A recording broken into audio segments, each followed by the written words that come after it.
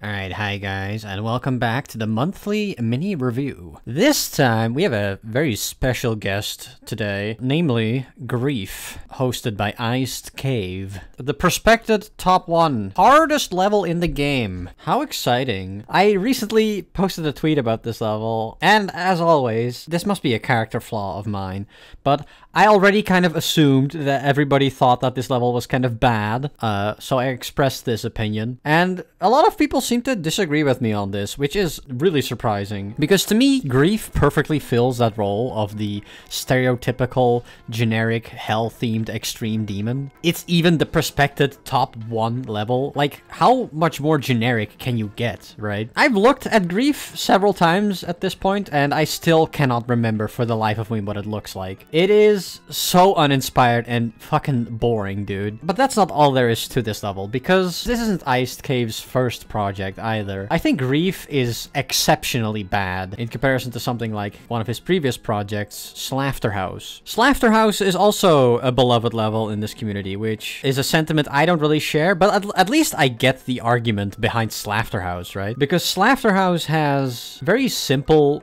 straightforward gameplay that's easy to parse as an outside observer, like some cube jumps and some straight flying. And, well, the wave gameplay is kind of a, an outlier in that respect, which is also why I think the wave parts are probably the weakest in that level. I think Slaughterhouse, if anything, is pretty good at conveying how difficult it really is because the gameplay is relatively straightforward. And while it's easy to see, of course, that Grief is also really difficult, I think it loses some of that elegance.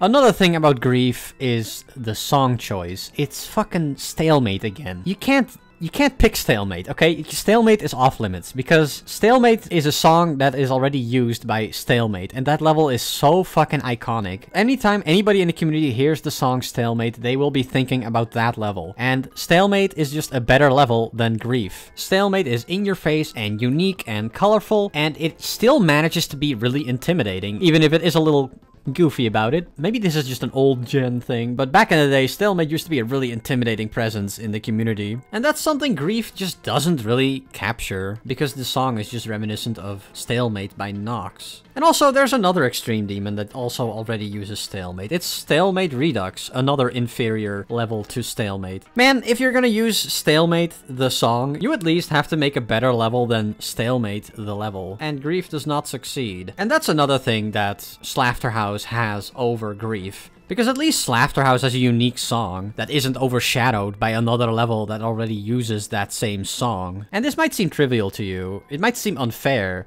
to negatively rate Grief on the song choice, but this shit is important, man. It's basically half of the experience of the entire level. So yeah, to summarize, there are three major points that Grief fails on as a level. First, it's generic as fuck. I'm sorry, there's there's no elegant way to phrase this. Second, it doesn't supersede its predecessors. It's just not as good at being a top one as something like Slaughterhouse. And third, the song choice makes it reminiscent of another, better level, which is poison for its artistic value. And yeah, that basically sums it up for me. Special shout out to my grandpa demons on Patreon for choosing this level for this month's review. Belfry Clock and Emma Belhelium. My apologies, Emma. I know you wanted me to compare Grief to Teeth Fortress 2, but I found that comparing it to Stalemate and Slaughterhouse was more pertinent and illustrated by points better. And thanks for watching, everybody. See you later.